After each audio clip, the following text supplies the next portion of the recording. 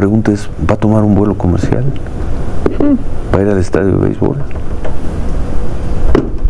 ¿Va a ir a una obra de teatro? ¿Va a caminar por los parques de la Ciudad de México, de Guadalajara o de Morelia? Yo la veo muy complicada. Ahí sí él sembró, él va a cosechar lo que sembró. Normalmente así es. ¿Qué tal amigos y amigas? Bienvenidos a una nueva video información más, bienvenidos a su canal Pregoneros 4T. Si la información les gusta, ayúdanos con esa manita arriba, con ese poderosísimo like y compartan. Compartan la información. El día de hoy, vaya que se proyectó Gacho Ciro Gómez Leiva en su programa, se lanza en contra del presidente Andrés Manuel López Obrador y esto ya no es casualidad. Todo esto es orquestado para despedirlo de la peor forma posible y decir que millones de mexicanos no están con él y que no va a poder vivir tranquilo. Escucha nada más lo que dice Ciro Gómez Leiva. Esto fue, esto lo mencionó pues alrededor de tres minutos el día de ayer y hoy le dedicó como 7 8 hablar del retiro del presidente Andrés Manuel López Obrador, a decir que millones de personas no lo quieren y que cuando se lo encuentren en un vuelo comercial, en algún lugar público, van a salir a increparlo o a repudiarlo. Este es el nivel de Ciro Gómez Leiva que le gana totalmente el odio, mis estimados amigas y amigos pregoneros. Y así se lo dice al presidente, sembraste tanto odio, vete a Cuba o ahí vas a terminar ten cuidado a dónde vas a ir porque pues ya no vas a estar en la burbuja en la que ahora te encuentras con todos pues la protección mis estimados poneros que tiene un jefe de estado en pues en la actualidad como nuestro presidente Andrés Manuel López Obrador. Lanza su pronóstico Ciro Gómez Leiva para el fin de sexenio. AMLO no va a poder recorrer el país. Yo no lo veo en un restaurante ni en un estadio de, estadio de béisbol. Yo lo veo en el exilio en La Habana, Cuba. Vean nada más, lo que hay que escuchar mis estimados pregoneros y hoy lo repite, vean, cuestiona qué pasará cuando se termine la burbuja del presidente de AMLO. Imaginan a López Obrador en un vuelo comercial, en un restaurante, ahí están las consecuencias de haber sembrado tanto odio. Él va a cosechar lo que sembró, dice Ciro Gómez Leiva, que le gana totalmente el odio, mis estimados pregoneros, el resentimiento. Esto fue lo que dijo en su espacio el día de hoy. Ustedes tienen la mejor opinión. Vean nada más cómo se proyectó. Pues no sé si, no sé si eh, la respuesta que da el presidente López Obrador tiene que ver con el comentario que hice ayer y que ya he hecho en otras ocasiones. Yo decía, ¿qué va a hacer el presidente López Obrador? El presidente que ha polarizado, que ha agredido cuando menos a la mitad de la población, a los que los llama como les dice, arribistas, aspiracionistas, por no hablar de quienes considera sus, sus adversarios.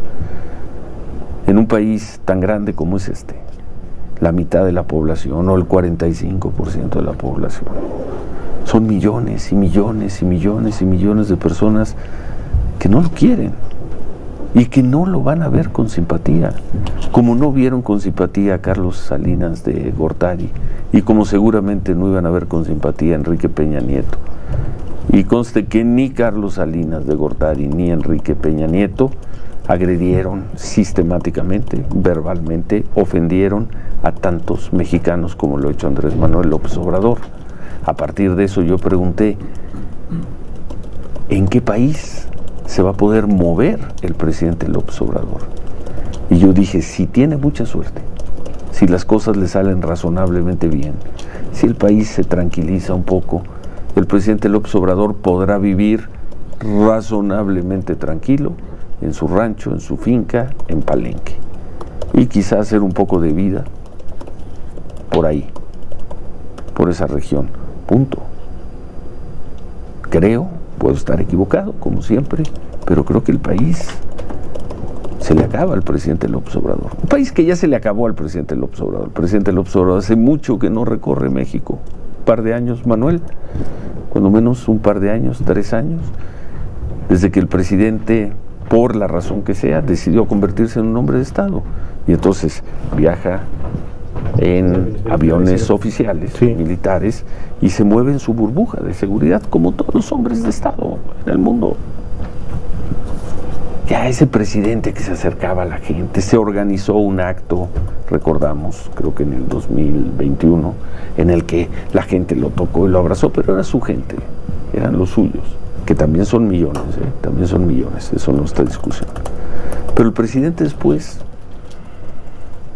vivió y vive en una burbuja, en la burbuja de seguridad, con la custodia, como debe ser, como viven los jefes de Estado una vez que el presidente pierda esa burbuja o se reduzca, bueno, la pierda porque pues él mismo fue el que promovió que ya no tenga custodia, ¿a dónde va a ir el presidente López Obrador? ¿Imaginan ustedes al presidente López Obrador en un vuelo comercial? ¿Lo imaginan? No. ¿Imaginan al presidente López Obrador tomando él el riesgo de ir a un vuelo comercial? Ya como expresidente, yo lo veo muy difícil, a lo mejor lo hace. Sería temerario. ¿Cómo lo van a tratar en un vuelo comercial? ¿Lo imaginas en un restaurante? La verdad no sé. A lo mejor en algunas zonas del país. Pero más allá de ir a algunas comunidades cercanas o en viajes muy controlados para que la gente lo ovacione, lo abrace y no lo increpe. Ven, decíamos ayer, ven, ¿ves al presidente López Obrador en un estadio de béisbol? No, definitivamente no, sir. ¿Lo ves en un cine?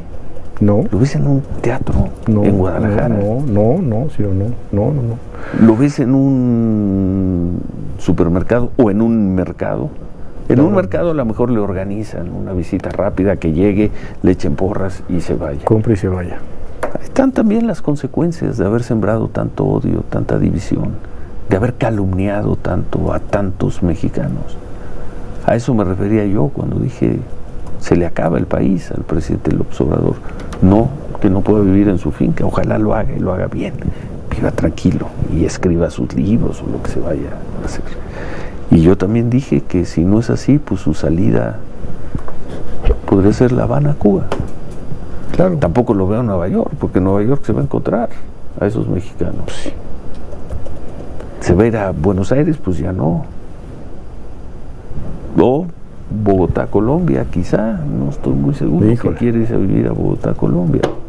Eso fue lo que dije, no dije se, se va del país, yo creo que se le acaba el país a un hombre que desde el poder agredió sistemáticamente a la mitad de la población. Y cuando dices, pues en un país de 130 millones, la mitad de la población, estoy haciendo números, en sí, sí, sí, son 65 millones, pues la probabilidad de que te encuentres a uno de esos 65 millones en donde sea es altísima, es total, es prácticamente absoluta. Y ya sin seguridad, sin ejército, sin aviones eh, privados, ¿a dónde va a ir el presidente? ¿Va a ir a tomar el sol a una playa? Mm. Pienso que no. ¿Va a ir a un centro turístico? ¿Va a ir a una exposición de arte? ¿A qué país? ¿Va a ir a un cine si es que el presidente va a cine? Pienso que no.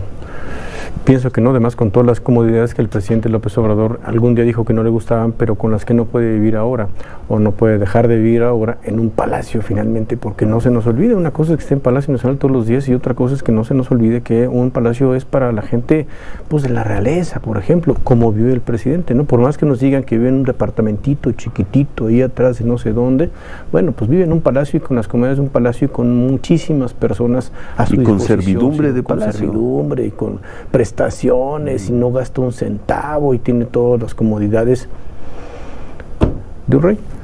Las comodidades de un jefe de Estado, así viven los jefes de Estado en Francia, en Suecia, en España. sí, pero eso no prometió él, ¿eh? Además que él no, prometió eso, ¿eh? no se nos olvide que él no prometió eso. No prometió muchas cosas. Pero a eso, a eso me refiero, presidente, a eso me refiero. No a que usted se va a ir del país, pues sí se va del país, más o menos lo mismo, a que esté encerrado en una finca. Sí, da igual. Palenque, a que esté en La Habana, donde es altamente probable que en La Habana sí pueda caminar por las calles, sí, puede estar. Pero. Y la pregunta es: ¿va a tomar un vuelo comercial? ¿Va a ir al estadio de béisbol? ¿Va a ir a una obra de teatro? ¿Va a caminar por los parques de la Ciudad de México, de Guadalajara o de Morelia? Yo la veo muy complicada. Ahí sí él sembró él va a cosechar lo que sembró. Normalmente así es ya no va a vivir en un palacio y a todo ahí su compañero, su hijo Manuel Feregrino empieza pues a sentir en todo prácticamente, a decirle, sí, sí, sí, tienes razón Ciro Gómez Leiva, el presidente ya no va a vivir en un palacio, no podrá ir a un cine, a un mercado, porque la gente se lo va a encontrar. Si bien hacemos cálculos generales, dice Ciro Gómez Leiva, 65 millones de personas lo repudian, no lo quieren y lo van a increpar si se le encuentran en la calle. Y así dice que no va a recorrer el país y demás, mis estimados pregoneros. ¿Cómo le ganó el odio a Ciro Gómez Leiva? Que en este sexenio ha tenido la libertad de decir lo que se le pegue la gana sin ningún más, sin ningún eh, eh, reproche, sin ninguna represión, siempre con la libertad de expresión, mis estimados pregoneros, y en el tema de su ataque que sufrió ya hace un par de años, mis estimados pregoneros, pues Ciro Gómez Leiva ha tenido siempre ahí, eh, pues a la fiscalía, mis estimados perdoneros, a los altos mandos, a las autoridades a su disposición. Ya hay personas procesadas por todo este asunto que pudo terminar en tragedia, mis estimados pregoneros, pero que, pues sí, gracias al eh, pues Supremo, no sucedió, no pasó a más, mis estimados pregoneros. Y todo esto, pues sí, echándole la culpa al final de cuentas al presidente Andrés Manuel López Obrador. Pero es Ciro Gómez Leiva, mis estimados amigas y amigos pregoneros, que ha tenido libertad de decir lo que quiera durante este sexenio, pues ahora con esta nueva narrativa, con esta eh, nueva, pues, eh, orquestando toda esta despedida en contra del presidente Andrés Manuel López Obrador, diciendo que no va a poder vivir tranquilo y si está en Palenque ahí encerrado, que no lo va a soportar y va a terminar yéndose a Cuba. Lo que hay que escuchar por parte de este mercenario de la información. Nos vemos hasta la próxima, pregoneros. Si la información les gustó, ayúdanos con esa manita arriba, con ese poderosísimo like y compartan compartan la información y no, no le muestren estas imágenes porque Ciro no soporta la popularidad, el cariño, el afecto, el amor que le tiene el pueblo. Pero bueno, mis estimados pregoneros, ustedes tienen los mejores comentarios acerca de este tema, acerca de esta información, déjenlo aquí abajito en la cajita de comentarios. Nos vemos, hasta la próxima.